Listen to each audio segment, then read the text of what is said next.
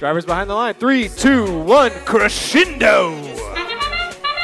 All right, here we go. Qualification match number 25 underway. Shots fired on both sides, fully autonomous pre-programmed routines. Looks like Creekside a little low. Porkstra, Bacon coming across, able to acquire one more of those notes from that hotly contested center zone. You see Red Alliance having that advantage here in the driver control period.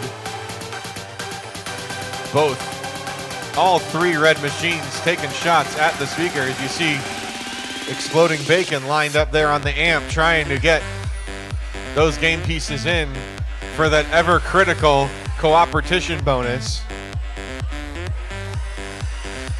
Both alliances needing to put one of those notes in that amp and then the human player can hit the yellow button to use it for that. Meanwhile, scoring continues. Blue side, 87-75.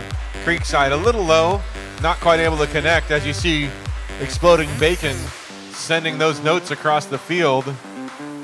That strategy seems to work pretty all right, feeding other machines and continuing to score.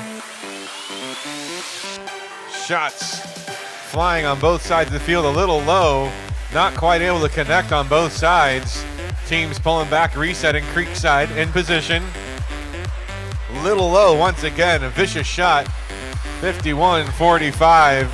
That's Wolfbotics scoring for the Red Alliance as we go under one minute in this qualification match. Big hit there in the middle of the field. Looks like no problem. 9402 Explorer 1 taking the hit and rolling on. Shots all just a little short for the Blue Alliance. A little tuning required.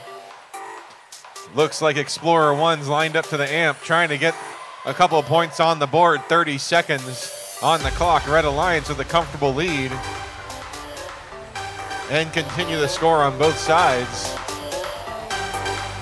Hooks. That sound means we've got 20 seconds left to play. Teams can throw those special notes trying to hit. Oh, and they do. Looks like the microphone has been rung, so the team hanging on that rung will get spotlight bonus points. Looks like Bacon is up and off the ground. They went for the harmony bonus, but it's the win, 59 to 17. 45 big speaker points. You see three ranking points there for the Red Alliance. Despite that, Bacon drops down to third place.